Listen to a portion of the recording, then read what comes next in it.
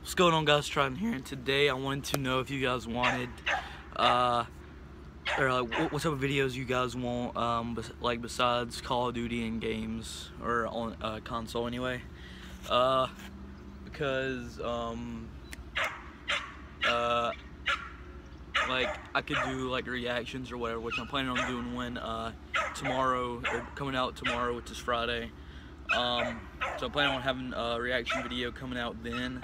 Um, but like, let me guys know if you guys want some like mobile games or whatever, like Clash Royale, uh, you know, whatever games you guys want me to do, um, or whatever. Sorry for my dog, he's kind of, you know, loud. Um, but I know it's a short video. Uh, had to make sure, you know, with everything or whatever. And mainly because I forgot to freaking upload video last night. So, uh, yeah, guys. Um, I'll see you whenever that uh, reaction video comes out. Um, so yeah, guys, it's been Tritton, and I'll see you guys later.